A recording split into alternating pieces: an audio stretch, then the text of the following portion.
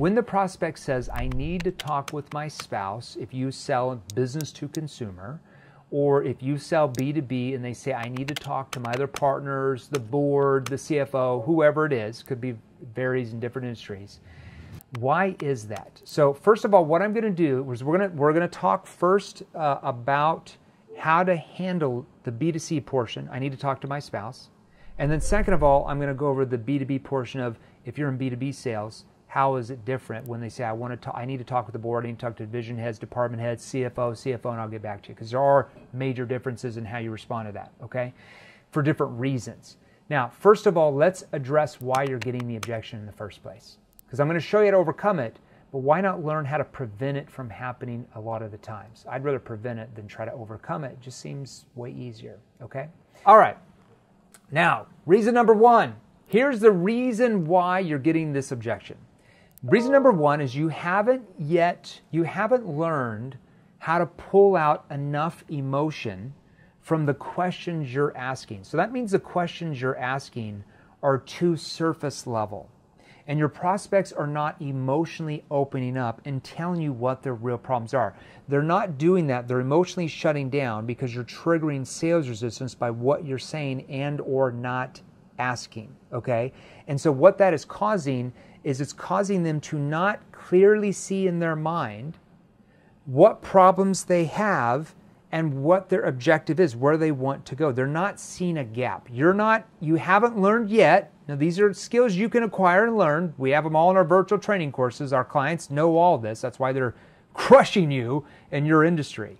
Okay, you haven't learned how to build the gap with the newfound problem. So, what that means is we call this their current state. So, this is their current situation. Some people call it their current state.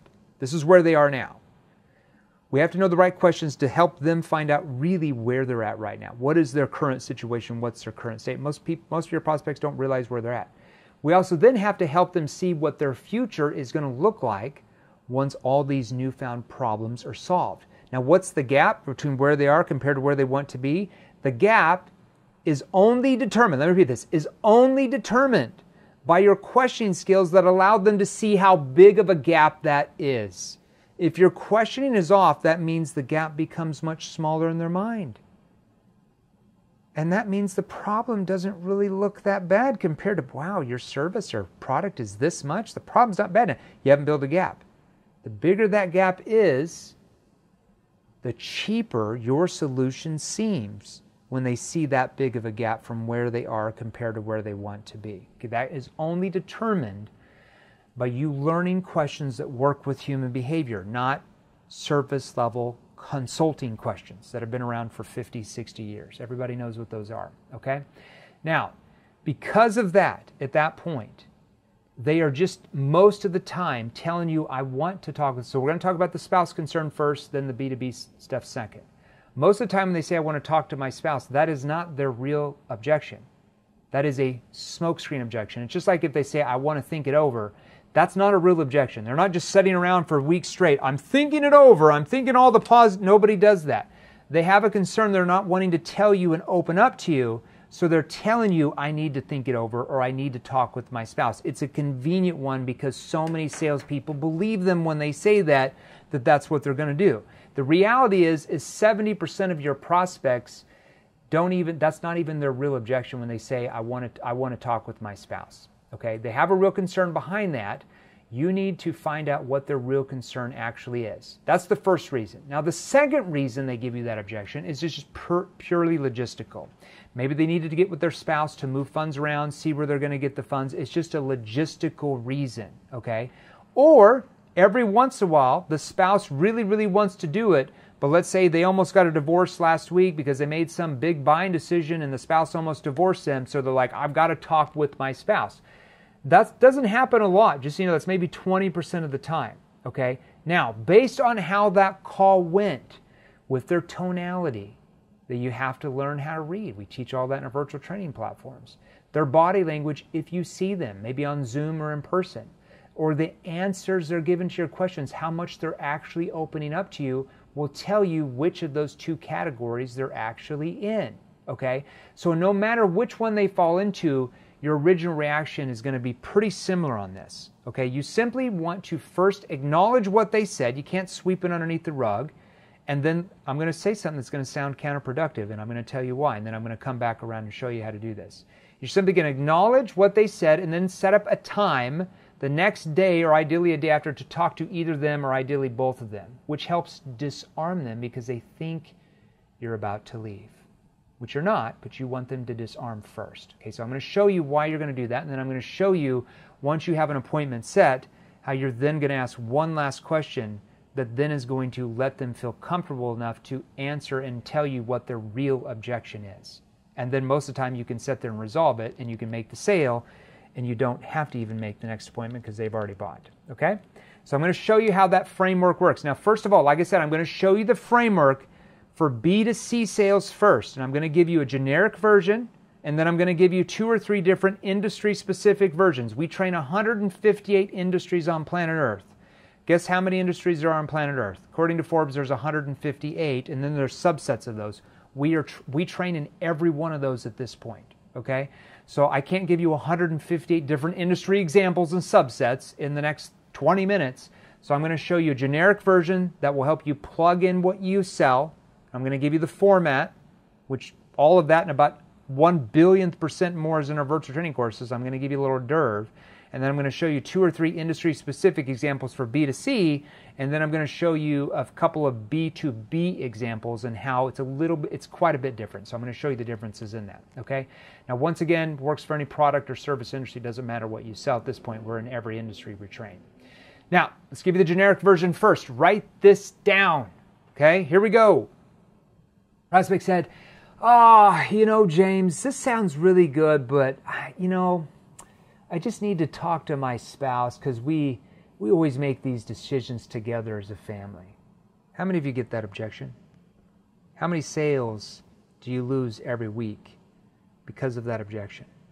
And be real, be real. I know you lose lots of sales because of that. Okay, here's how you're going to respond to that. You're first going to acknowledge that. You're going to say, Yeah, that's not a problem. You're just going to agree with them. The first thing we have to do is disarm them. What do most salespeople do? Well, well, but but uh, I mean, why do you need to talk with your spouse? I thought you said that you you really know that this is going to help you. I mean, this is going to help you. Like, why do you need to talk with your spouse? And they just emotionally shut down. You might as well just hang up the phone or leave the leave the Zoom or, or leave the home if you're selling B2C at that point because they're going to emotionally shut down. You want to disarm them first. So you simply agree with them first. So you're going to say, "Yeah, that's not a problem. How does your how does your spouse feel about you?" And then you're going to repeat back what they said they wanted. So you're first going to agree, and then you're going to ask this question. Now, like I said, this is a generic example first. You got to plug it in. I'm going to give you the formula. Then I'm going to show you some industry specific examples so you can see how it works. Okay? Yeah, that's not a problem. Um, how does your spouse feel about you? And then you're going to repeat back what they said they wanted. Okay? Now, prospect says, oh, yeah, I think they, they would want me to do this, but I've got to ask them first. Then you're going to say this. This is a consequence question. Yeah, I understand. I guess what will happen though if you go to them and they don't want you to get the fund? You can say funds, depending on what you sell. You can say funding. It depends on if you're B2B or B2C. Let's just say if you're B2C, you're going to say funds. Yeah, that's not a problem. Um, yeah, that's not a problem. How does your how does your spouse feel about you pre-back what they said they wanted. Oh yeah, I think they'd want me to do this, but I you know I need to really talk with them first. Yeah, I understand. I guess what what would happen though if you go to them and they don't want you to get the funds so that you can and then you're going to repeat back the benefit, the end result of what they're after. And it's going to depend on the industry you're in, which I'm going to show you some industry specific examples. Okay, yeah, that, I can I can appreciate that. I guess what will happen if you go to her and she doesn't want you to get the funding so that you can, and you're going to repeat back the end result. See how that formula works? Prospect says, I understand, I, I'm just not sure what they're going to say about this. Okay, well, how will you how will you be able to blank if they don't want you to get the funds so that you can, and then are going to repeat back the end result they wanted? So how will you blank if they don't give you the funds so that you can, and then I'm going to repeat back the end result? Once, I, once again, this is a generic example. I'm going to show you industry specifics in a minute so you can see the whole thing in action. It'll make more sense to you. Now, if you still can't get them to overcome this at that point, which is about half and half you can do, because a lot of times they're like, oh, well, no, no, no, I'm definitely going to do it for sure. You know, sometimes they'll say that and then you can just move them forward. Other times, like, no, I just can't, I'm not sure. Then you're going to book appointment to disarm them. And then as you're leaving off Zoom, off the phone, out of the office or in the home, you're going to ask one last question to find out what the real objection is. I'm going to show you that in a second, okay? So you're going to say, okay, I understand. I guess what's your time frame on getting back with me later today or tomorrow just to see if I'd be available for you? Now, when you say just to see if I'd be available for you, what does that do? It positions you as the expert someone who's busy, not just some salesperson who's at their beck and call because you're desperate for a sale. You don't need them. You're the expert. Prospect says, Well, I could call you back in a few days. Then you're going to say this because you can't have any waffling. You have to have a book time. Well, yeah, I'm not sure if I'd be randomly available like that um, with my schedule. Um, what I can do, though, if it helps you, is if you have your calendar handy, I can pull up mine and have you book a specific time with me in the next day or so um, so you don't have to chase me down and vice versa. Would that help you? Or would that be appropriate? And then you're going to book the specific time. Notice I said that way you don't have to chase me down and vice versa. Why would I say that? That's called an NEPQ status frame. It's a status frame. It positions you once again as the expert, helping other clients solve their problems, getting them results, so it's attractive to your prospects. Not like, okay, when can I call you back? Okay, Sunday at, at 9 p.m. at night? Okay, I'll call you then, Bill. They're not going to be there. You're, they, you just look like a salesperson. You look desperate. You just lowered your status in their mind. You just look like some creepy salesperson trying to stuff your solution down their throat. You want to establish a status frame, which you had to do in the discovery part of that conversation. But this is another way to do that when you're booking a call. It's called an NEPQ status frame. Teach all of those. It's just a little example of one. Teach all those in our virtual training platforms. All right. Now, this is the so when you have the meeting booked, you've disarmed them because they think you're going to leave. They think you're getting off the phone. They think you're getting off Zoom. They think you're leaving their home. They think you're leaving their office depending on where you're selling, okay? They think you're leaving. So their guard is down and you're going to say this. Now, um, Cindy, before I go, what parts of what we went over do you feel like you need to discuss with your spouse just so I know what questions you guys will have when we talk tomorrow? Let me repeat that because I know you're not going to remember that. Now, before I go, see, you're leaving, you're going out the door, you're getting off Zoom. Now, hey, before I go, what parts of what we went over do you feel like you need to discuss with your spouse just so I know what questions you guys have when we talk tomorrow? And guess what they're going to say? They're going to tell you their real objection. This is where it's going to come out. They're going to say, Well, I just really need to talk with him to see if we have the budget for this. Now you know what the real objection is it's the money objection. They just said, I want to talk to my spouse. That's not the real objection. The real objection is they don't know if they have the money or they, they're not, they have so much fear in their mind that the money they're going to pay you is going to be wasted and they're not going to get the result. Now you know what the real objection is. Now, hey, before I go, what parts of what we went over do you feel like you need to discuss with your spouse just so I know what questions you guys have when we talk tomorrow? Now, it could be, well, I just really need to talk with them about the money. I'm not sure we can get the money. Or I just need to talk with her to see if we have the time to do this, depending on what you sell. That could be a time objection. Well, I just really need to discuss with her, you know, to see if, if we even really need this right now. They don't feel like they need it. There's not enough gap. So whatever they say, you know that's the real objection. And then you're right there rather than trying to wait for them because maybe they don't show up the next day, okay?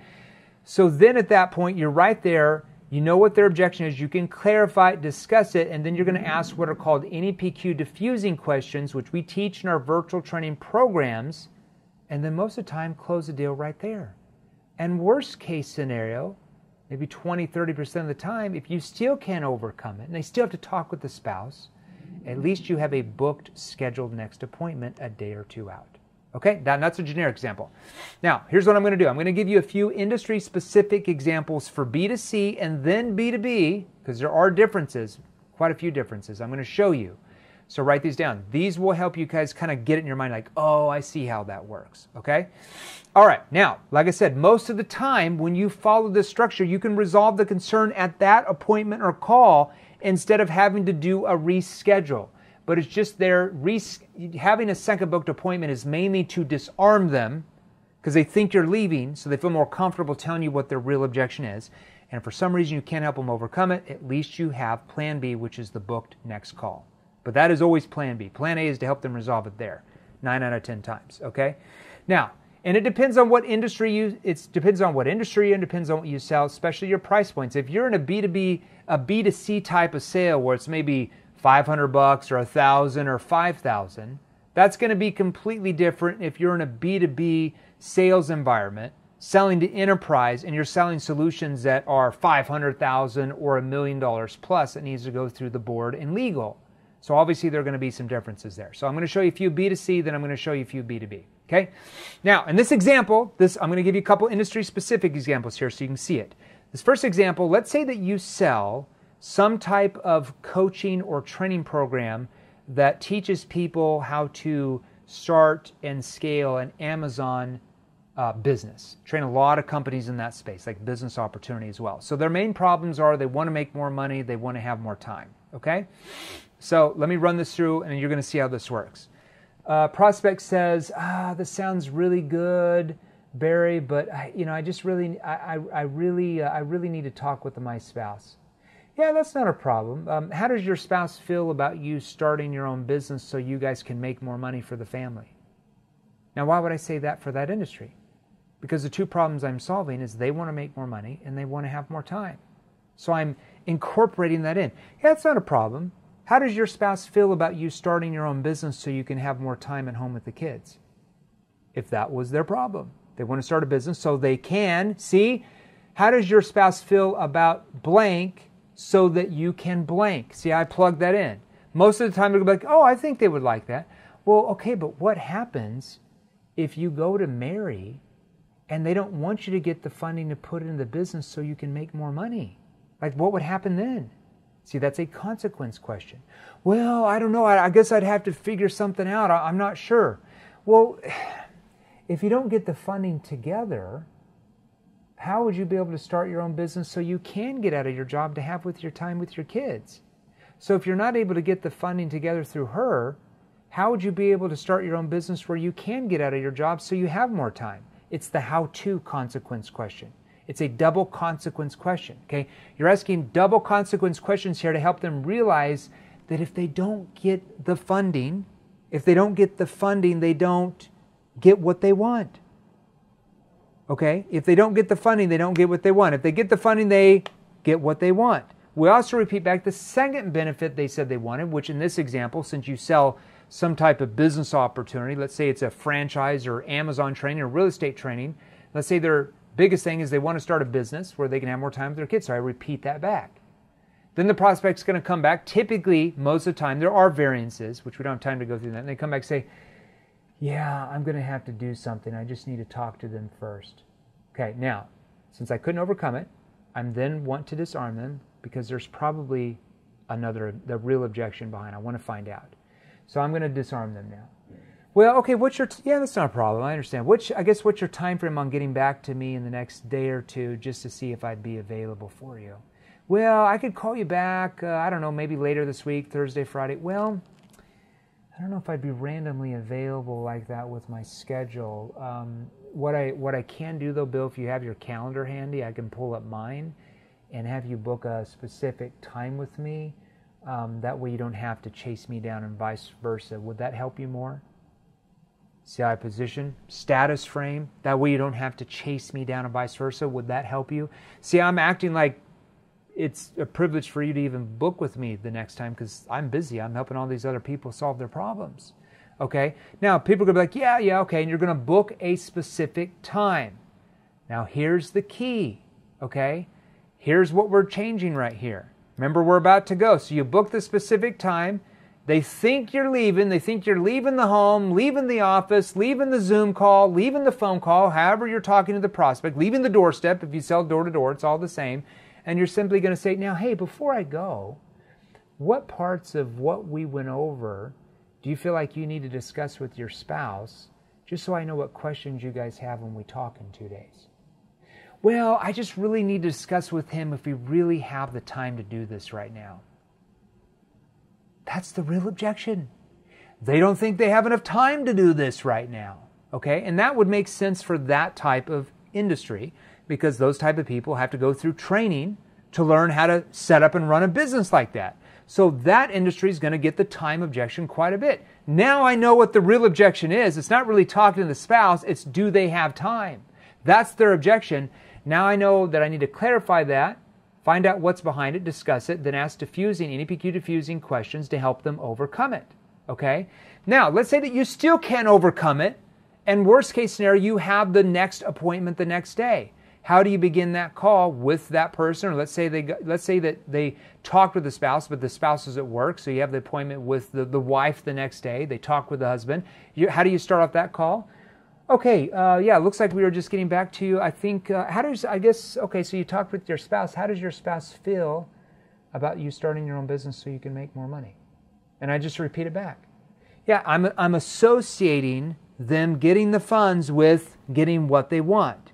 If they can't get the funding, they don't get what they want. And that's how people start to think results based thinking over price or cost based thinking. You have to align the money, the funds, the funding with solving the problem and getting the results they want. If we don't do that, they have nothing to associate what that money does for them. Okay? See how that works? All right. Let me give you another example in a completely different industry. Let's say you sell life insurance. We train tons of companies, thousands of agents in this space as well. Train every industry in the world now, supposedly.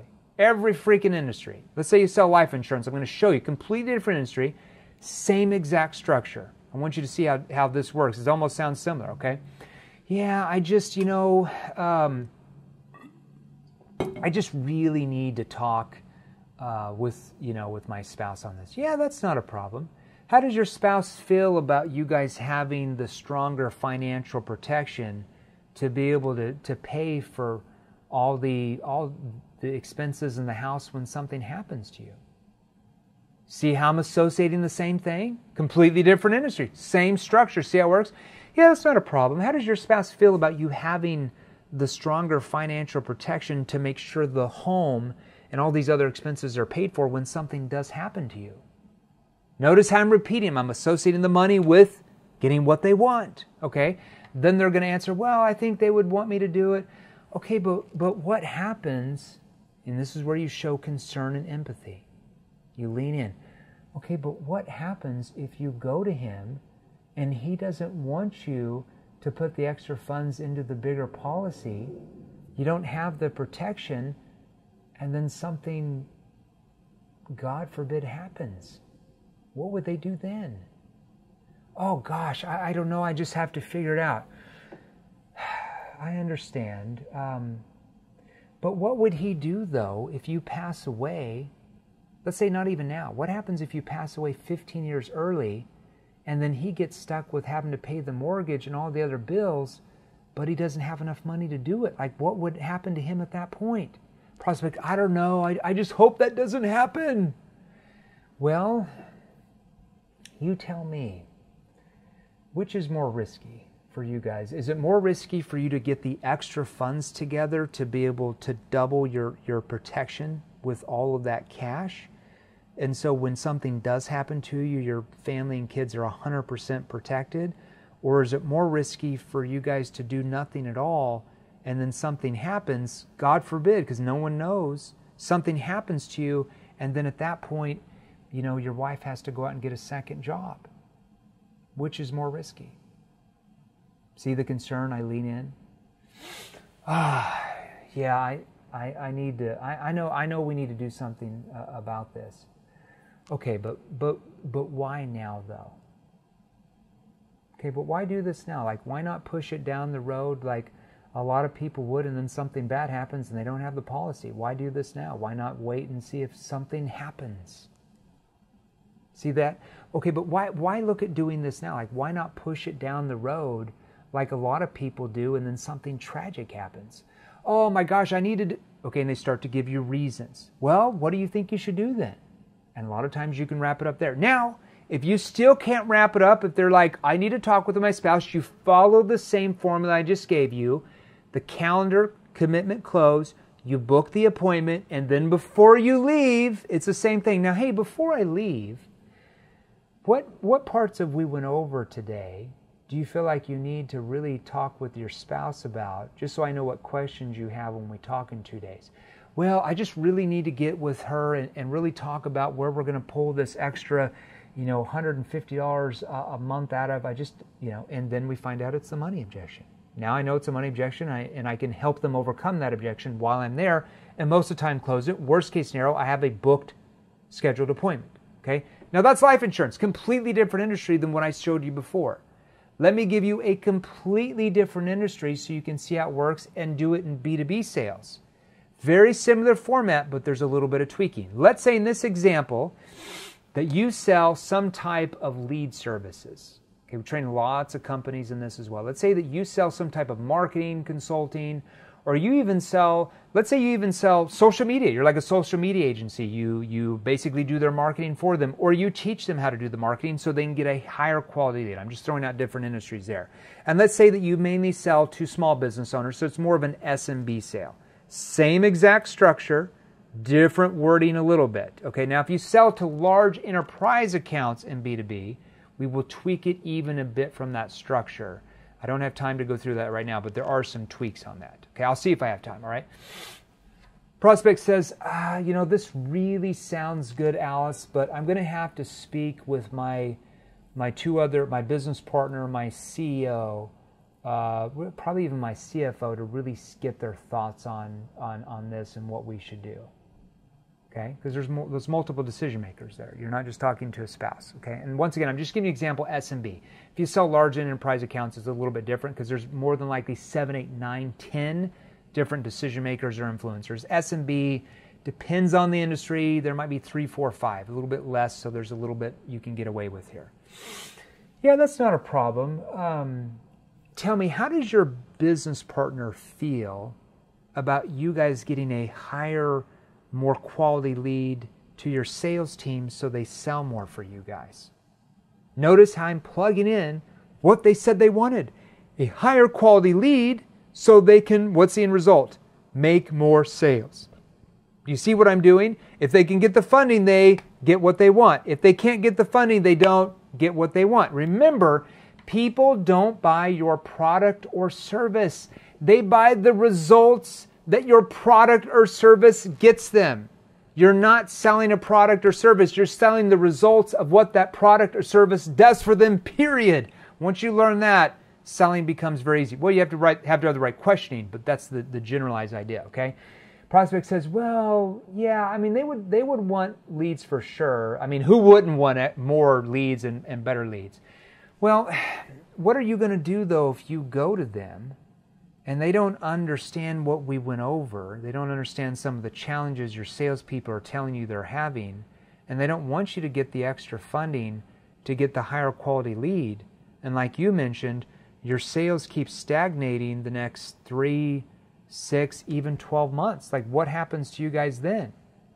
And you say that in a skeptical tone. That's a consequence question to get the prospect to realize what the ramifications and consequences are if they don't do anything about this. Prospect, yeah, we'd have to do something for sure, otherwise, uh, we'd be in a lot of hurt by then. Now, here's the difference with B2B compared to B2C. Most of the time, it is better for you to set up another appointment to meet the other decision makers than trying to ram this down this guy's throat or gal's throat here. Because typically in a B2B situation, unless it's like a mom and pop laundromat and there's two business owners and they're the only employees of the company, that's different than if you're talking with some type of company that has 100, 200, 500,000 employees or more. There typically are rules that their company has to follow, going through the board, going through legal. There's different things and processes they have to go through. So if you try to completely hard close them you're going to lose about 99% of those deals here. So you got to it's a little you got it's it just takes more steps to get it to that point. So what you want to do is Well, um, okay, so uh, blah, blah, blah. so what are you going to do? Yeah, I'd have to do something for sure. We could go under. Well, would it help you if we set up uh, another call with your business partner and your CFO, and both of us kind of discuss some of the challenges and problems that you had mentioned to us you're having, and then how we could actually solve each one of those so you guys could scale. I think you'd mentioned you want to get to 100 million in revenue next year. Would that help you if I if I was willing to set up another call with them and you? See, I position myself status frame. Would that help you? Okay. Now, especially if they have a business partner, other decision makers in a B2B environment, you want the other decision makers on that call. Okay. Yeah, that would actually help us actually. Well, uh, and then it's the calendar commitment. Well, what I can do if you have your calendar handy, I can pull up mine and have you guys book a specific time with me, uh, probably a little bit later this week. I'm, I'm pretty wrapped up in the next few days. Uh, that way, you guys don't have to chase me down and vice versa. Would that be appropriate? And then you book a scheduled appointment. Now, at the end, I might get off and say, now, when you go and talk with your business partners about, you know, actually being on this call, what do you think they're going to say? Now, I want to know that because I want to know if they have, like, oh, you know, Ed, you know, CFO, he's always skeptical about these things. I need to know how to resolve that with that person. Or, yeah, Cindy, yeah, the department head, she hates these type of sales calls. I'm going to have to convince her. I want to know that right then and there, not hope that they get them on there and then they don't show up, or I get an email saying, we couldn't get them on, we'll have to get back with you later on. You don't want to do that. So, okay, so let's say that you go to them uh, and start. What do you think you should say to get them to even want to be on this call, though? Well, I would say about this, and I'd say about that, and let's say they start talking about features and benefits. You don't want that. Well, you could say that. Um, can I make a suggestion, though? Yeah, sure, go ahead. What if you started talking to them about some of the same challenges you were talking with me about, about the lead quality's gone down? And you've lost about 20% of your sales force over the last six months, and you're concerned that you're going to lose another 20%, and how we might have something that could really boost your lead quality up where you can start getting more attractive talent back. What if you started talking with them about some of those things? Would that help them more, better understand it? Oh, for sure, that's a really good idea. See how I'm positioning that person to talk with the other decision makers or influencers to actually give get them to the call not just show up some, some other sales call they think is going on. Okay?